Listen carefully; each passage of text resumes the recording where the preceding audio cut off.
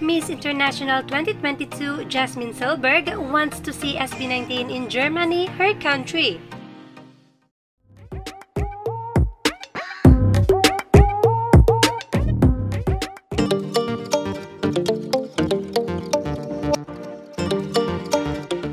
Yes, you heard it right. A beauty queen and also a fangirl of SB19 has emerged in the person of Miss International 2022 winner, Miss Jasmin Selberg of Germany. She commented on SB19's post on Pagtatag World Tour Asia with Germany someday, which means she wants to see the boys perform in her home country. Just wow! SB19's reach is really getting wider and wider each day. And hopefully SB19 will get to showcase their talents in Germany someday.